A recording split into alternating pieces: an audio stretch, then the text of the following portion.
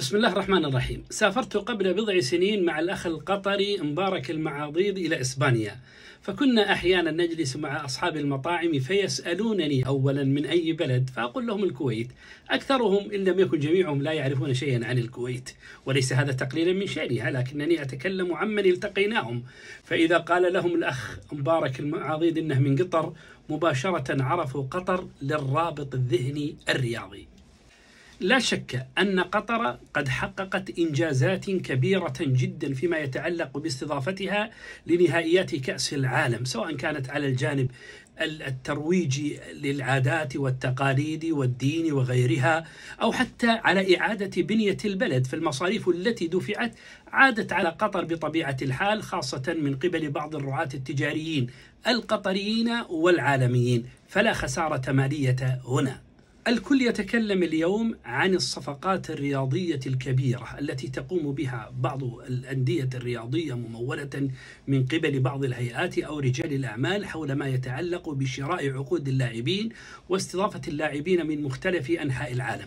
سأتكلم عن جانب رياضي فقط.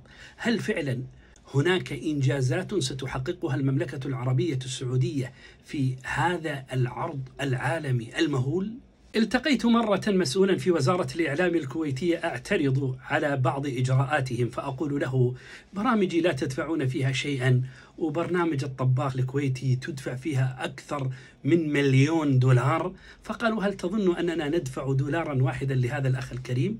كل المبالغ التي دفعت له تأتينا من قبل الإعلانات التجارية. المعلنون لا يريدونك يريدون الأخ الطباخ الكويتي.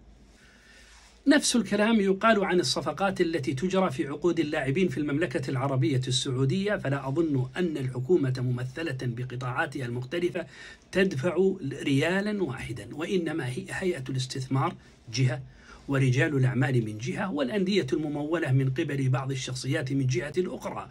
فهؤلاء هم الذين يقومون بهذه الصفقات التجارية والتي تعود ماليا قبل أن تعود عليهم بأشياء أخرى.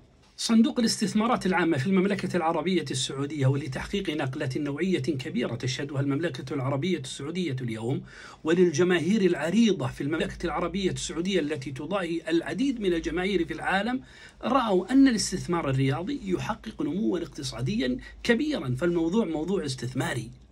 التعريف بالعادات العربية في المملكة العربية السعودية أو دعم السياحة في المملكة كل هذا أهداف ثانوية. الهدف الرئيس ما ترونه من صفقات رياضية كبيرة جدا تدفع فيها وتضخ مئات الملايين من الدولارات. الهدف هو استثمار اقتصادي فقط. وهذه نظرتهم وهم أعلم بشؤون بلادهم.